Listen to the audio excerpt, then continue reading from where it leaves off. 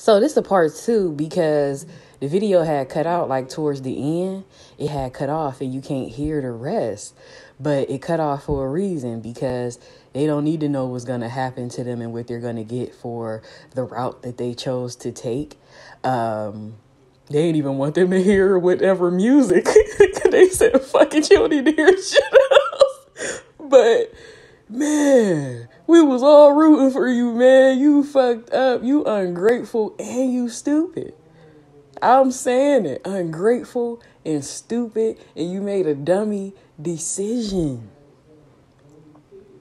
That shit, things would have been handed to you on a silver platter if you would have did the work, but no, you wanted to do magic to get it. That shit is faulty as fuck. Man, we got to do better, man. And I want to tell you what's going to be in store for you, but it cut off for a reason. I can't even say shit.